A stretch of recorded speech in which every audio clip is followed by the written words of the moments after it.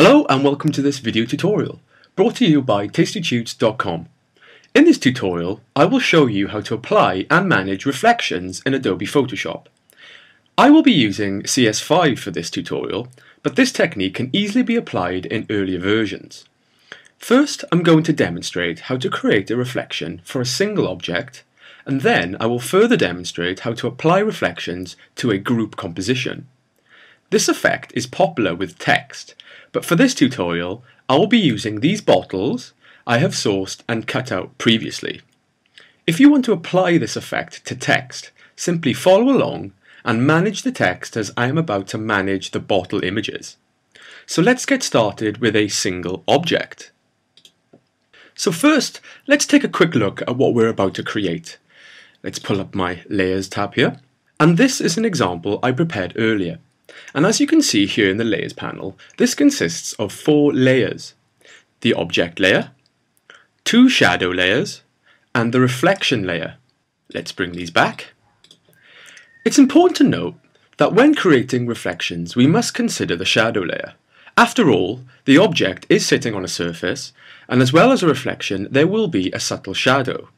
This will give our reflected object a more all-round authentic appearance.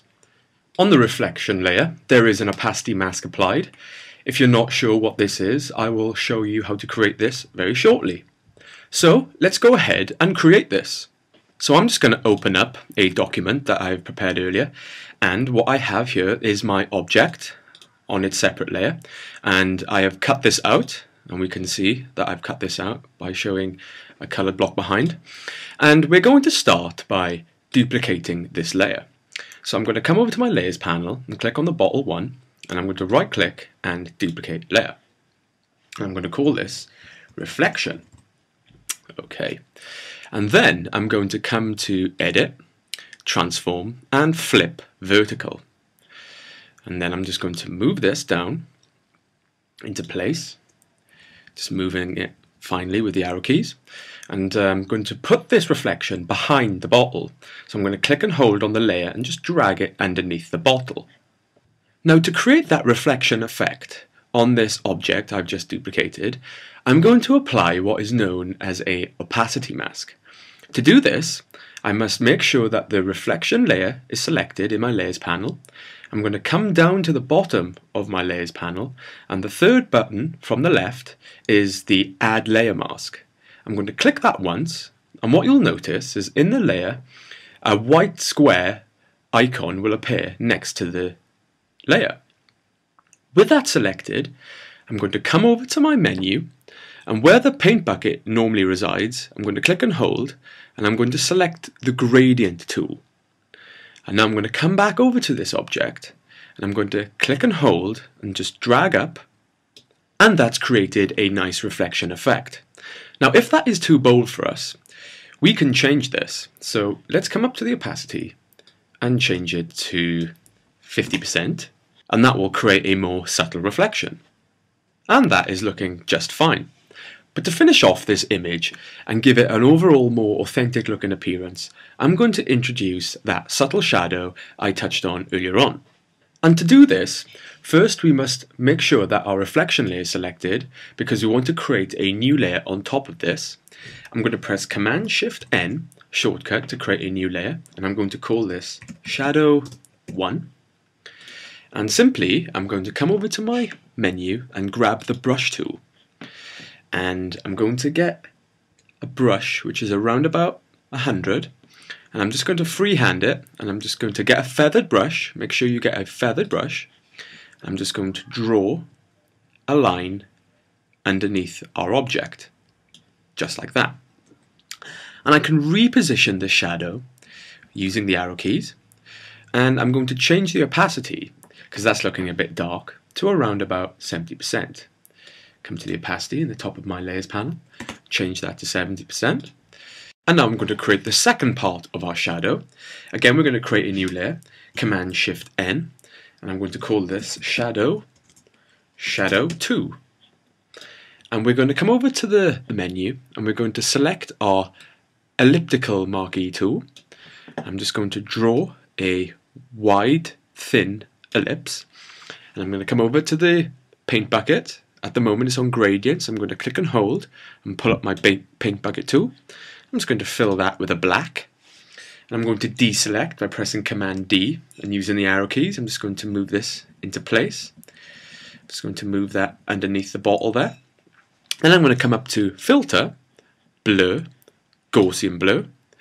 And I'm going to apply a blur around, let's try 10 pixels. Okay. And then I'm going to come over to my menu once again and I'm going to select the eraser tool. And I want to get a bigger brush so I'm going to come up push my brush up to around let's say around 200 I'll do. And I'm going to change the opacity to about 50% that'll do nicely. And then we're going to come over to the ellipse and just slightly delete a little bit away. So we're going to give it a little bit of a gradient effect so it's not too bold and again using the arrow keys I can move that into place and that will just be a little spin-off shadow just gives it a little bit more of an authentic appearance. So this is how you create a reflection for a single object. But what if I want to create a composition with reflections for multiple objects. Let's move on to the next example. Here we have a composition which I created earlier and as you can see here in the layers panel this consists of six objects on their separate layers. I have cut these out prior to this tutorial so be sure to cut out your objects nice and clean before beginning your reflection effect. So, now we want to apply a reflection to these objects. Let's use the same process as earlier. Let's duplicate these layers. To do that, I can select the top layer. By holding shift, I can click on the bottom layer and that will select multiple layers. Now if I right click and select duplicate layers, these, this will create a quick duplication of these layers and they're all selected there. And you can see that in the layers there is copy after each layer to let you know that they are indeed copies. So if I come to edit and transform and flip vertical I can move these layers down into position. And what becomes apparent is that they are on top of the other layers. And if we look in our layers panel we can see just why and that's because they are on top. So as they are all selected, we are going to click and drag them below the other objects. So now they are underneath. And also what is apparent is they are out of line. So we are going to quickly rectify this. And to do that, very easily, we can put our mouse over an object and by right clicking, it will bring up a list of what is underneath. So we have our bottle 2 copy, select that. By using my arrow keys, I can just move this up into place. The same with bottle 5. Move that up into place. And also bottle 6. Move that up into place. And bottle 4. And we can do that with every bottle just to make sure we are happy with its position. Okay, so now all our reflection objects are in place, now it's time to add our reflection effect. In the last example, we were dealing with just a single object, but here we have multiple objects. So how are we going to apply the opacity mask to the entire group? Well, let me show you how. The first thing we're going to do is we're going to select all of our reflection objects. To do that, we're going to click on the top layer. By pressing shift and holding down, we can select multiple layers. And and then I'm going to press Command G. And this is going to group all these objects together. And I'm quickly going to double select on the name of the group, just to call it reflection. And now, because the objects are grouped, we can apply our opacity mask to the entire group. To do this, make sure your group is selected, as you can see here in the layers panel. We're going to come down to the bottom of the layers panel, and you can see the button we used earlier on, Add Layer Mask, let's click that, and you can see that it is now applying an opacity mask to the entire group. If we come over to our menu and click and hold on the paint bucket, again we're going to pull up our gradient tool and make sure you have the colors black and white selected. and we're just going to click and hold and draw a gradient and you can see exactly what's happening. We've created a nice reflection there. And if you wish, we can change the opacity of the whole group. We can come up to our opacity property here with the whole group selected and we can just toggle the visibility of the opacity. Let's go with something about 80% and that'll do just fine. Now the last thing we need to do is we need to add a shadow. The final step in order to get that authentic look. Now I want to share with you a little technique. So let's zoom in a little bit.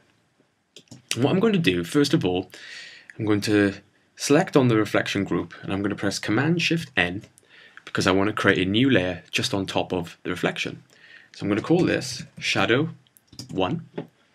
Okay, and I'm going to come over and grab my brush and my brush is set to 100 that we used earlier on but I want something a little bit smaller so let's look at something around the 70 mark or maybe even the 50 mark yeah let's go with that for now okay and a little trick I've learned recently if you press and hold shift and you draw you can draw in straight lines so if you wish to draw some straight lines in Photoshop just click and hold shift. You can do that very easily.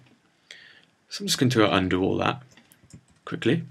The reason I'm showing you that is because we're going to make the shadow for these objects in one quick swoop. So I'm going to start from the edge here and by pressing shift I'm just going to hold. I'm just going to click some lines so you can see exactly what I'm doing. By holding shift and clicking I can get a nice straight line And move that to the end. So now we've got a nice black shadow effect.